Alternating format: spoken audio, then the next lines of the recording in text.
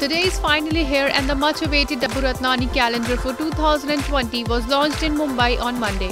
The launch event was attended by Bollywood stars including Rekha, Isha Koppikar, Vidya Balan, Mandana Karimi, Jackie Shroff, Bhumi Pednekar, Anu Malik, Urvashi Rautela, Sunny Leone with husband Daniel Weber, among others, who added the glamour quotient at Dabboo Ratnani's annual calendar launch. At the event, Vidya looked stunning in grey sari. Sunny Leone arrived at the launch event along with her husband Daniel Weber. The actress looked gorgeous in black and white outfit with a plunging neckline.